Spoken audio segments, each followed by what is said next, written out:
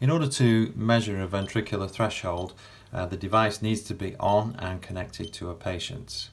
The rate has to be higher than the intrinsic rate. So at the moment it's 60, just to make absolutely certain I'm higher than the intrinsic, I might move this up to somewhere close to 90 beats a minute. Uh, the ventricular voltage is currently set to 6 and I slowly bring this down until by watching a monitor I see that I lose capture.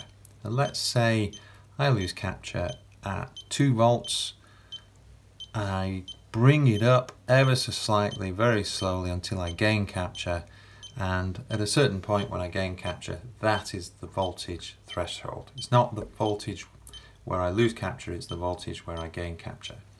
So the final setting should be two or three times that value. If it's twice that value it will be four, if it's three times it will be six.